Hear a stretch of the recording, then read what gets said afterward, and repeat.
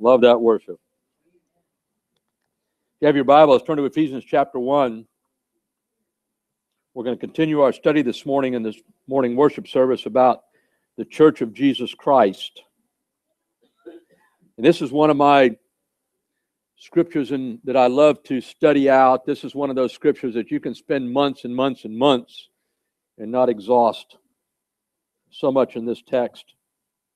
Beginning verse 18, it says, The eyes of your understanding being enlightened, that ye may know what is the hope of his calling, what is the riches of the glory of his inheritance in the saints, and what is the exceeding greatness of his power towards us who believe, according to the working of his mighty power, which he wrought in Christ when he raised him from the dead and set him at his own, own right hand in heavenly places far above all principality and power and might and dominion that is named not only in this age, but also in that which is to come, and has put all things under his feet, and gave him to be the head over all things to the church, which is his body, the fullness of him that fills all in all. Chapter 2, verse 1 says, And, and you has he made alive who were dead in trespasses and sins. And we're going to be talking about the Church of Jesus Christ today in depth. We're going to be talking about the call, the hope of his calling in, uh, in verse uh, 19. Father, we thank you for the time together this morning. We thank you for the privilege to be in your midst with the body of Christ. Father, we thank you for these brothers and sisters have gathered together to give you praise and glory for who you are and what you're doing in our lives. Father, we've come here this morning to give you praise and thanksgiving. Continue to use us in your service as we reach out to this community and try to share Christ with all those that we come in contact with. Father, I pray that our lives will be a lighthouse here on this corner as we have been called here in Loxahatchee area to try to show forth the love of Christ and present the gospel of Christ and the word of God in a in a godly manner and a pleasing manner so people can be saved and lives changed because of the preaching and teaching of the Word of God. The Bible says faith comes by hearing, and hearing by the Word of God. And Lord, I thank you that we can be uh, consistent here and we can be honest with the truth of the Word of God and preach it and teach it with power and might through the Holy Spirit. And I pray that your Holy Spirit will take the message of the day and, and impregnate it on our hearts. I pray He'll edify us and build us up so we can be better servants as we're here called together to be fitly framed and and reach out in this community and share Christ. And Father, we just pray that we'll be worthy of that vocation to which you've called us here. In Jesus' name, amen. Carol?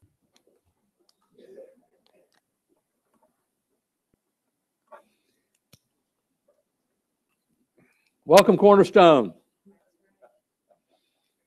Remember the question I've been asking why are you here today? Well, we're trying to put some meat on the bones and ask ourselves every week why we're here. Uh, that's a glaring question, to be honest with you. You could be in a jillion different churches in Palm Beach County today, and and uh, some of them are big and fancy and flashy, and uh, pastors are probably better looking and uh, whatever. But you know,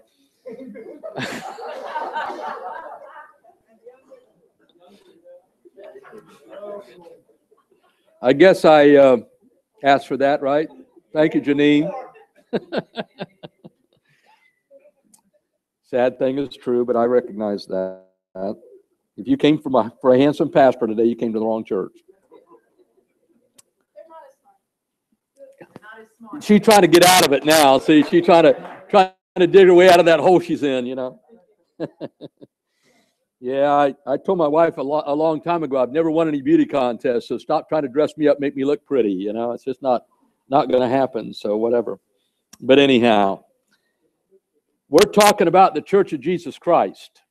And give me next slide. We've been spending the last few weeks as God, as Jesus Christ says in Matthew 16, upon this rock, referring to himself being the chief cornerstone, upon this rock I will build my church, and the gates of hell will not prevail against it. And you know, as we watch our culture kind of slip into a, a, bit the abyss here in, in America. And I, I fully believe that uh, even in my lifetime, we may see the church in, in serious persecution here in our country, that we have to hang on to that. We win, right? If you read the last chapter, the last two chapters of the book, right? We win, right? We're the ones that get to go to glory and spend eternity in heaven. Amen. So, bottom line, and I'm a bottom line kind of guy, the gates of hell cannot prevail against what we're doing here. Okay? And that, that we got to hang on to no matter what happens. That's what that's the promise we have that Christ says, I will build my church, it's his church, and the gates of hell shall not prevail. Amen. Give me next slide. Now we've been talking about this church in specifics. Last or the first week we talked about that it's his church. And we were in First Corinthians chapter 1 verses 15 through 19 where not only is it his church but this entire creation is his. Christ created everything. No, it did not evolve from primordial slime. It didn't come from a big bang 18 and a half billion years ago. That's all a bunch of garbage. Okay? Jesus Christ created it. Read Genesis 1, 2, and 3. And if you have any problem with the science, I'll be happy to straighten you out. Been there, done that. But the bottom line is God created mankind for a reason. He created us in his likeness and his image. And then he called out Abraham, Isaac, and Jacob to be his chosen people. And then when they fell into sin repeatedly, he finally turned his attention to the Gentiles, which is most of us today in the last 2,000 years, the church has been predominantly Gentiles. But ultimately, God is calling out a people, both of the, of the Hebrews and the Gentiles, to spend eternity with Him in glory. And that's the gospel in a big nutshell. That's the Bible in a big nutshell. Okay? If you are a born again believer today, if you have come to a place in your life where you've realized you were a sinner, you were doomed and, and condemned to hell, and you realize that you're headed to hell and you're living accordingly, and you surrendered your life to Christ because as we just did the Lord's Supper, He went on that cross and He was broken for us. He shed His blood for us. He paid the price for my sins and your sins. And if you believe in that and trust in that, the Bible says you're born again. And your life changes. Bible says if you're born again, old things pass away, all things become new. Christ introduced that before he ever created mankind. Remember, he's God, right? He already knows the future. He knew when he and the Father decided to, to create this earth and this universe and create mankind, he knew we were going to fall into sin. And he knew the battle was going on between he and Satan, and Satan was going to get the field day, and Satan's going to take most people to hell with him. And it's only a remnant that's going to go to heaven. In spite of the social idea today that we're all basically good people and God's a loving God and we're all going to get there. We're just getting there different ways. That's a lie as well. Christ is the one that says, I'm the way, I'm the truth, and I'm the life, and no man what? Comes to the Father what? Okay? So either Christ is a liar or Christ is the only way to glory. That's what the Bible teaches. So society's got to deal with that. But the bottom line, Christ created the church. He created the whole concept of the fact that he was going to call out a people of his own. And he was going to work with among us and, and in, in us and through us and show the rest of the world what God is all about through us, the church of Jesus Christ. And he created us. Not only did he created us, but in the next week we said we saw that through him the church exists. When you think of the persecution that's gone on since the church was founded, and how many emperors and kings have tried to destroy the church and, and exterminate the Bible off the planet, and we're still here today, 2,000 plus years later, worshiping Christ, and we got more Bibles than the planet's ever seen now, today, particularly in Western culture. How, how many, how many uh, versions do you have on your laptop or your 700 different translations and languages, okay, on, on, a, on an iPad. I mean, that's a good thing, but in reality, it also condemns us because we're without excuse. There's no excuse that we don't know the Word of God in Western culture today, okay, because we got plenty of Bibles and plenty of, plenty of study helps to study the Bible. But Christ created it. And, it, and the Bible says not only did he create all of the universe, but he created the church, and by him all things consists. Now, that word in the Greek means literally he's holding it all together, he makes it all work. So, why can we come together week after week and watch him grow this church and reach out and see people saved and, and baptized and watch their lives change? It's because he's making it happen. It's not because of me. It's not because of you. It's not because of us jointly. It's because the Holy Spirit is working through our lives as we reach out to this community to change lives. I can't tell you how many sermons I preach. And I walk up and think, boy, that was a dud three people get saved. you know, somebody comes up, man, that was the best sermon I ever heard. Really? But that's the way the whole have fun with word studies here. Word enlightening is illumined. You know, you were in darkness and the lights turned on. That's basically the analogy there. Okay? You know, I love that scripture that I quoted earlier about Old things pass away, all things become new. You know, when I look back at 44 years ago when I was saved and how ignoramus, what an ignoramus I was, particularly the spiritual things, how much He's changed my life. If you'd have told me then I was going to be a preacher, I'd have laughed you to scorn. I wanted nothing to do with Scripture. It didn't fit in my hellish life I was leading. And I was enjoying my sinful life. Okay? getting saved and becoming a Christian and going to church just really wasn't supposed to be part of it. okay, but God had other ideas. We're going to talk about that in a minute. But my eyes were enlightened. The scales fell off of my eyes, and I was brought out of darkness into the light through Jesus Christ. And it says it says that you may know. You need to understand. You need to underline that statement in your Bible. That you may know that's critical. Do you know you're saved today?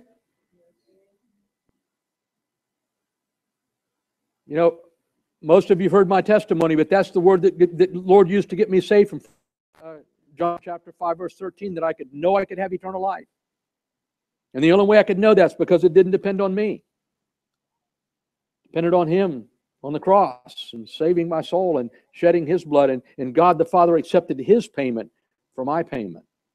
That's why if I trust him, I get the free ticket to go to heaven. And I can know I have eternal life. And here we're to know, because our eyes are enlightened, we're to know about God. Now, what are we to know? We're going to look at a few things here, and then we're going to focus on one. First thing, the hope of his calling. And that's where we're going to focus today. What is the hope of the call on your life and mine? What is the hope of the call of this church as we've come together this morning to worship Him and give Him glory? Why has God called this church to be here? And what is the hope? Now, first of all, the word hope literally means confidence. It's, it's, it's synonymous, synonymous, synonymous, I'll get the word out. It's synonymous to faith. Hope and faith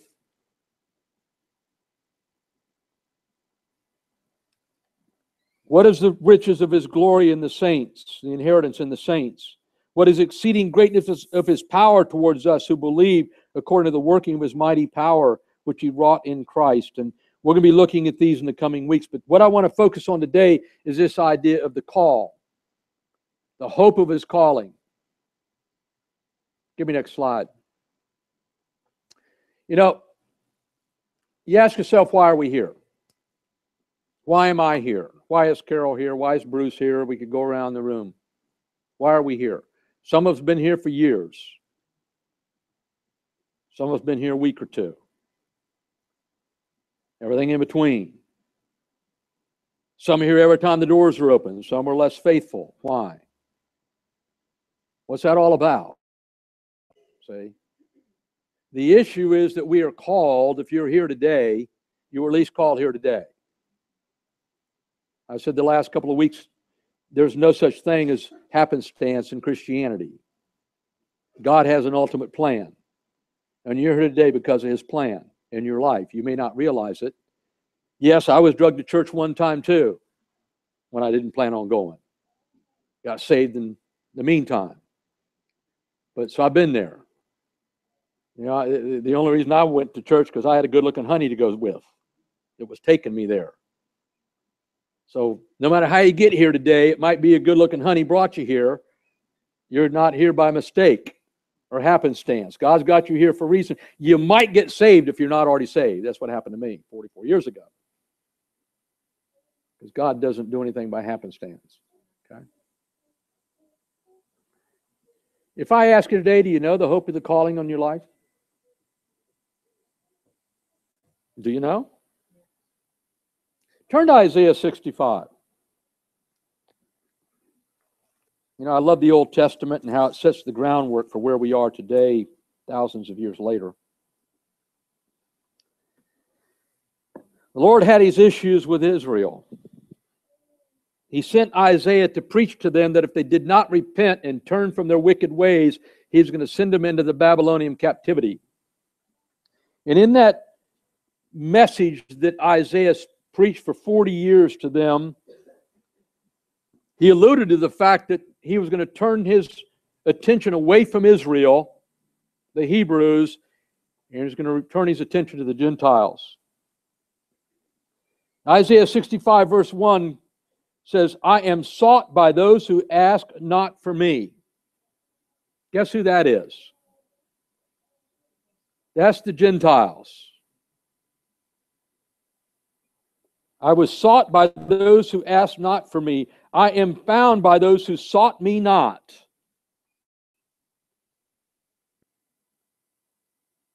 What did Paul write in Romans? He says, There's none righteous, no, not one. There's none that seeks after God.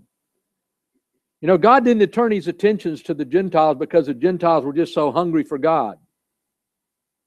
That's not how it works. I wasn't hungry for God when God reached me. I was one of those came kicking and screaming. Anybody else besides me? Maybe a few of you. You know, it just wasn't in my cards. Didn't fit my lifestyle. Didn't fit where I what I thought the world was all about. God had other ideas because He's in charge, not me. Look at what He says here. I am sought by those who ask not for me. I am found by those who sought me not. I said, here's the key Behold me. Behold me. You ought to underline those two statements. You know how you get saved? Behold God. Proverbs says the beginning of wisdom is what? Fear of the Lord. You know how little fear of the Lord we have in our culture anymore today? Okay? Who really fears the Lord? Except born again believers. And even then, sometimes you wonder. But that's the beginning of wisdom, is fearing the Lord. God says, Behold me. I love the scripture in, in, in John chapter 1 where it says, Jesus, John says, We beheld his glory, the glory of the only begotten of the Father, full of grace and truth. Imagine having walked with Jesus Christ as a disciple for three and a half years. Listening to all of his sermons, watching all the miracles, watching him resurrect Lazarus from the dead, and watching him go through the beating and the and, and the and the crucifixion and then resurrect himself from the dead, seeing him alive and ascend up into glory after that. Turn to 1 John chapter 1 with me a minute.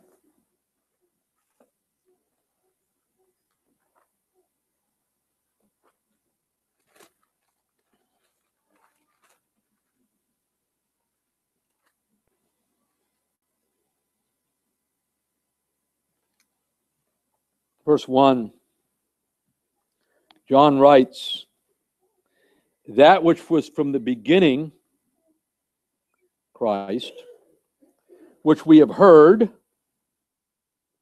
which we have seen with our eyes, which we have looked upon, and our hands have handled the word of life. For the life was manifested, and we have seen it, and bear witness and show unto you the eternal life the Father, and was manifested unto us. And he's referring to Jesus Christ having seen him, having heard him, literally having handled and he's the life of the life of the world. Eternal life. And that's the christ we worship today. That's the christ that created this church. That's christ that created the church at large. That's the christ that's sustaining the church at large and that's the christ that's sustaining this church. Is the one that the apostles listened to saw and literally handled and John says, We beheld his glory, the glory of the only begotten of the Father, full of grace and truth. You know what that makes me think when we come together today? We need to beheld his glory. I said last week, know if God exists or not, just look around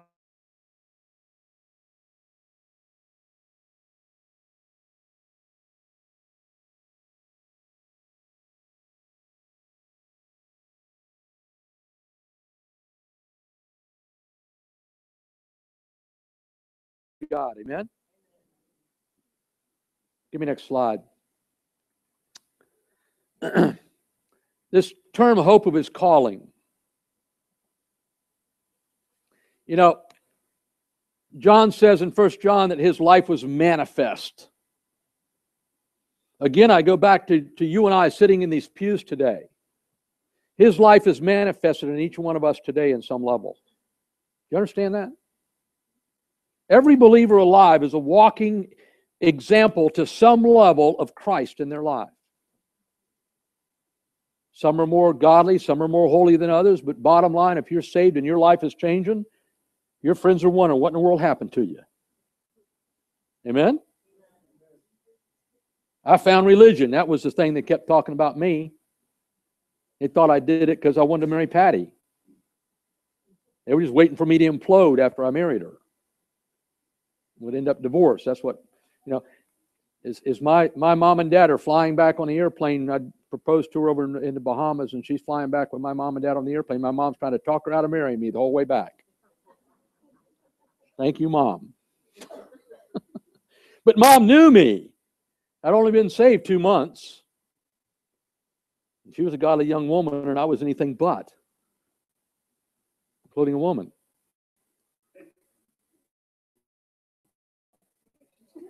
George, I don't know that. I had, had that. uh, moving right along. Give me next slide. this is a major problem we have in churches today, particularly in Western culture, and particularly I can only associate really here in America. You know, philosophically, America's in deep trouble. We're involved in our existential culture. We bought into the French Renaissance that took place back in the 17, 1800s in Europe. We bought into most of those philosophies, what they call the Enlightenment period of, of humanism, and we bought into it as Americans today, pretty much. And I, and I say, unfortunately, a lot of us in the church, have, to a large point, have adopted those philosophies as well. And one of the things that's happened in that philosophy through the Enlightenment period is the idea that the emotions control. Truth is found in the emotion, okay? The idea that the heart is considered the seat of emotions and feelings. And that permeates modern psychology today. That's why the U.S. Supreme Court can just pass a law that, that uh, you know, it's okay for homosexuals to marry because and be immoral because they're in love. Because of the emotions of love. And as I said a couple weeks ago, love never justifies immorality, whether it's heterosexual, homosexual, or no sexual. Love never justifies immorality biblically. So we've lost the fact that the idea we've got this idea that you know it's how i feel It's what should drive. What should I should make my decisions based on what makes me feel good, what makes me feel wonderful, what makes me feel safe, what makes me feel comfortable. And that should drive my decision making. Now that's not how the ancients thought. Going back to the Greeks and and and and uh, the the Hebrews or whatever Chaldeans, it was exact opposite. The heart was the center of thought. And the center of wisdom and understanding was the heart.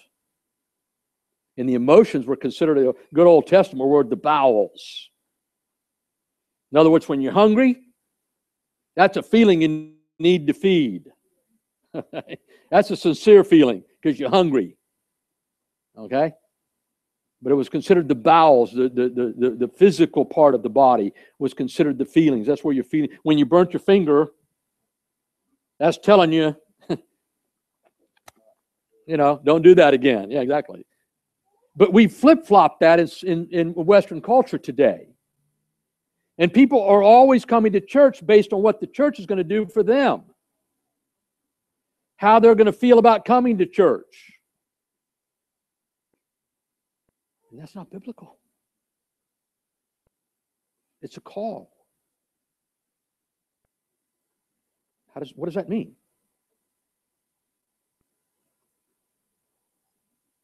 Acts chapter 1, verse 18 talks about Judas Iscariot going out and buying a potter's field with his uh, 30 pieces of silver because it made him feel good about having to betray his Messiah.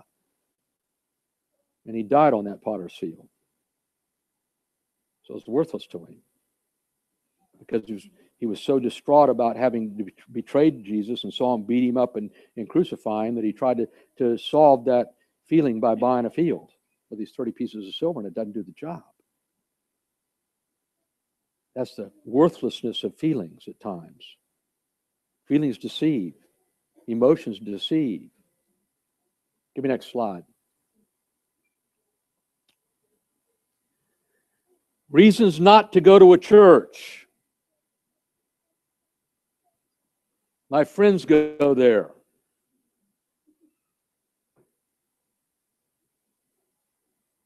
The worship makes me feel so good. The music program's awesome.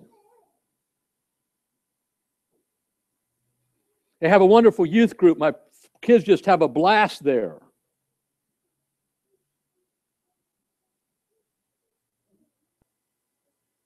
I really like the pastor and his wife, or maybe maybe not him, but her.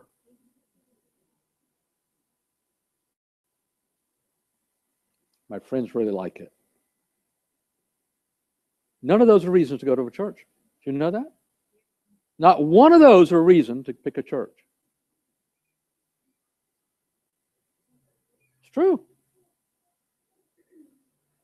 As I was thinking about this whole thing, my, I, I did a little homework on my, my own life, my wife and I's life together is one in Christ, trying to serve Christ together as one, as the Bible says we're to leave father and mother and cleave unto one another and become one, and that's body, soul, and spirit. And I thank God that my wife and I have served together all these years. She's an integral part of my ministry. Probably, I, you know, she's the, the key to my ministry, in my opinion, over the years. She's the one that keeps me organized and keeps me on straight and narrow. Most of you know I'm my attention span's about that long. But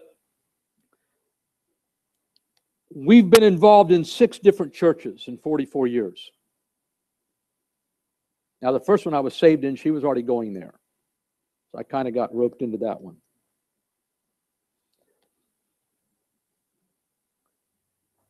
Not one of those churches, like I say, I got roped into the first one, so let's just eliminate that one for me. But the next five, not one of them did we go there as a couple praying about God leading us where He wanted us not one of them did we go there because we liked the church. And we thought that would be a great place to go enjoy ourselves. Not one.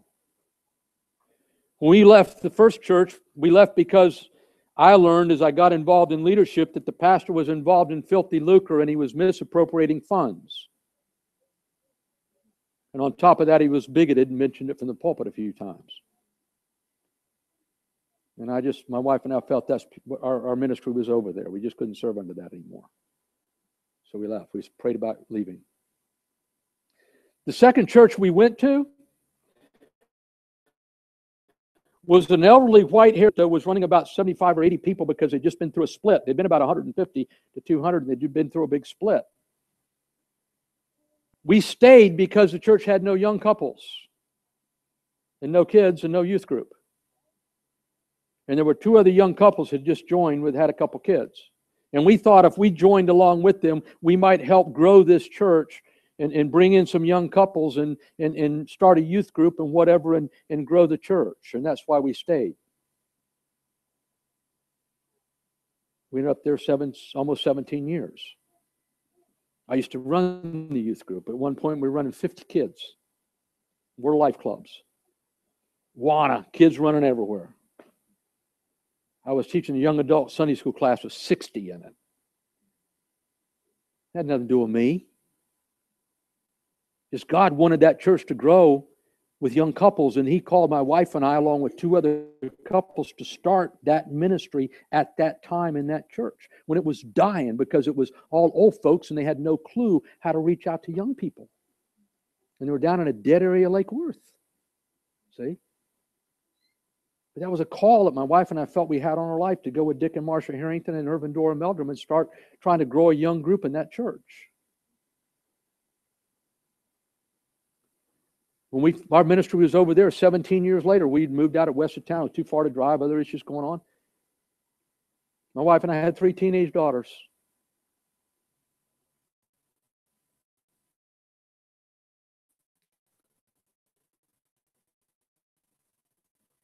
We were like you. You know what Arlene knows.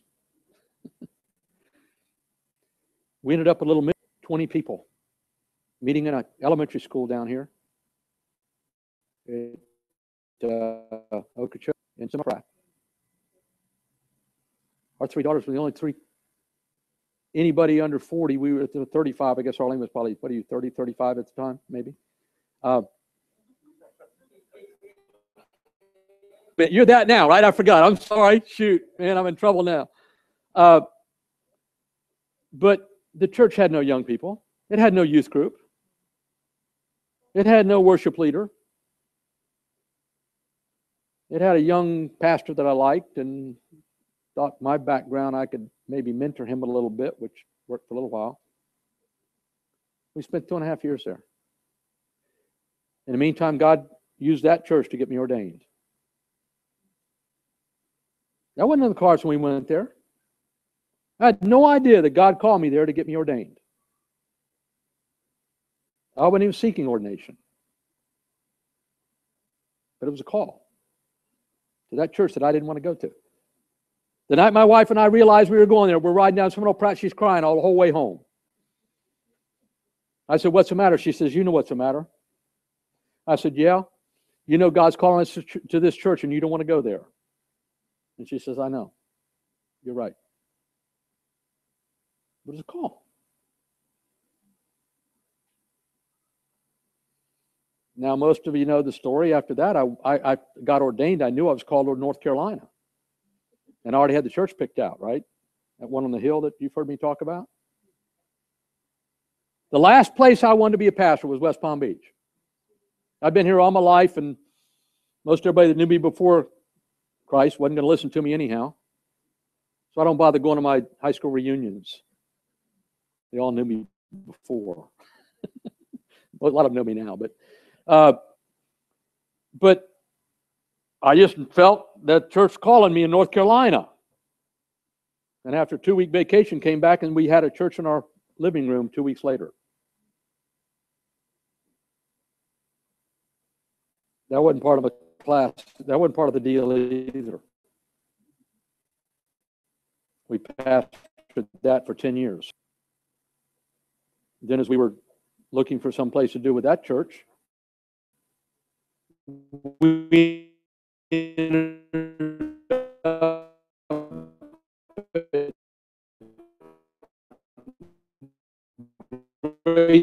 Fellowship. I fought God over it. Carol won.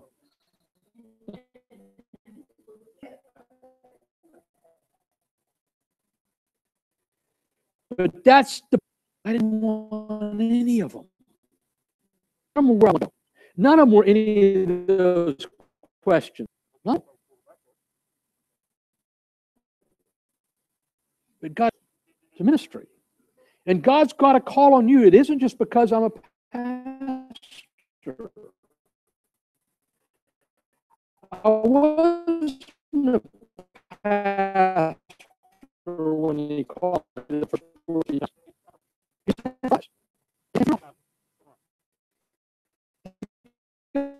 Hold the calling on your life on your life. And he brought you here for you, doesn't he? He can you to the jungles of Africa. Give me next slide. We've got to move on here. The call of God is based on faith. Are you surrendered to Him? He says, Behold me, pick up your cross, follow me, I'll provide, I'll lead, I'll guide, I'll give you the power, I'll tell you what to say, when to say it. Are you willing to surrender to me? That's ministry. The Apostle Paul says, I'm a bond servant to Christ sold out. Bond servant. He owns me. Christ owns me, Paul says. Is that how you see yourself here this morning in, in, in this church? Says we're not, we don't belong to ourselves. We're bought with a price. The blood of Christ bought me. He owns me. He owns you if you're saved today. You're not your own. We have no right to want to live our life our way. Because he bought me. He bought you. Faith is based on the understanding. The Bible says faith comes by hearing, hearing by the Word of God. The more you hear the Word of God, the more you study the Word of God, the more your faith grows, the more you realize you're not owned by yourself. You got no choice but to serve Him with your life. And that's where your joy in life is, is serving Him. Hopefully you get to the point you don't want anything to do with that junk out there. It's all worthless. It's that confidence. Give me next slide. We've got to move on.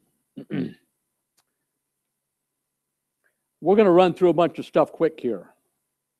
Stay with me. If you want to write some of these scriptures down, you can look at them later. I'd hope to spend a little more time here, but with the Lord's Supper and all, we're out of time. God's call on our life in Romans 8 29 says that we're to not that we're to be not to be conformed to the image of his son. We're to be conformed to the image of his son. That's the purpose of your life as a believer in this life is to be conformed to the image of Jesus Christ. That's why God's working on you to make you like Christ so other people can see Christ in you. That's why we gather together as the body of Christ so people can see the love of Christ shed abroad in the hearts of you and I, which crosses every group that you can imagine. This is the only place in the world that you'll see a group like this gather together and all of us be in love with each other. Okay? It's only going to happen in Christ. It's also a call in our lives to be called to be saints, and that's a big term. We can spend a lot of time there. What's that mean? Be a saint, be godly, holy. That's what in, in a nutshell. God's calling our life in 1 Corinthians 1 9 is we're called to in the fellowship of his son Jesus Christ and our Lord. I love to watch you guys worship, as I mentioned last week. Nothing more exciting. That's the fellowship that we have together. I can enjoy you and you can enjoy me and we can enjoy Christ together. Singing praises and, and, and, glorifying God together. And as Carol and I shared Wednesday night, it's fun to be up here and watch you guys worship on Sunday mornings. It is awesome. This is a worshiping church and I love it. It's not fancy. We don't have an orchestra. We don't have the, the band and all that stuff. But I know you guys worship. You know what that tells me? We don't need all that fancy stuff. We don't need all that stuff to worship. We really don't. God's calling our life in 1 Corinthians 7 22 says we're called therein, the body of Christ, to abide in Christ. Now that's a key word. Word abide means move in and be comfortable. Is Christ comfortable with you today? And where you are in your life? Are you comfortable with Him? Bible talks about the peace of God and the peace with God. Okay? Do you have that this morning? Are you here comfortable that you're here? You know, some people walk through these doors and you can watch them squirm in the pews. They can't wait till I get done so they can get out of here. I see it from up here, trust me. Okay?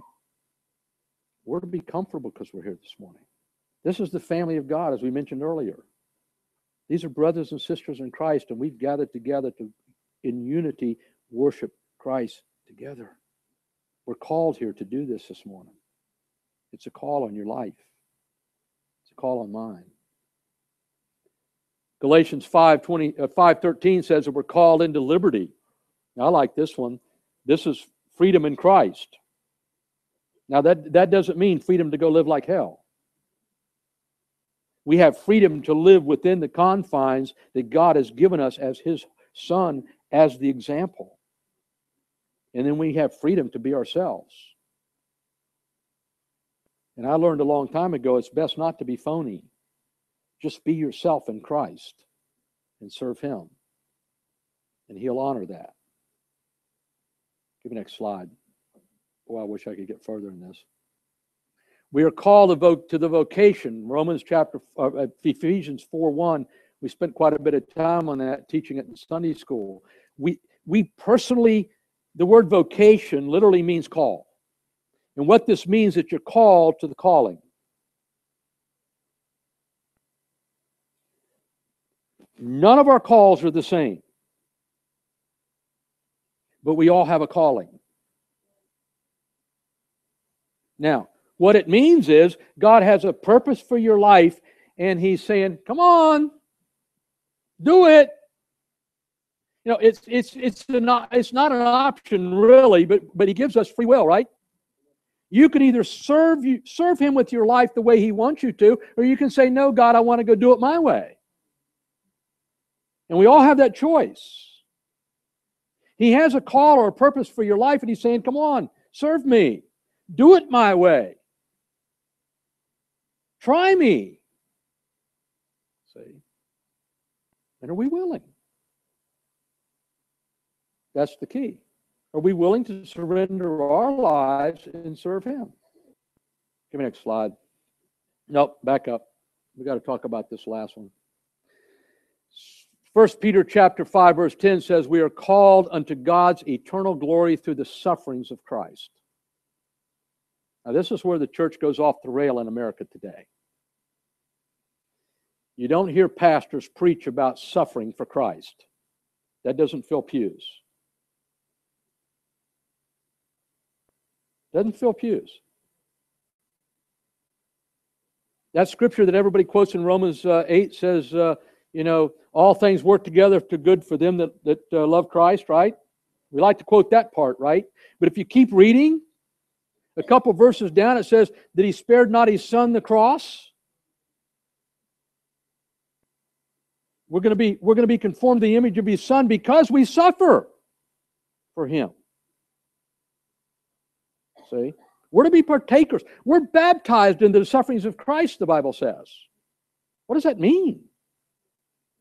We don't have a concept of that in, in Western culture today because the church really hasn't suffered in our lifetime. We think not having enough money to pay our bills this week, we're really suffering, maybe. Try what's going on over in the Middle East right now,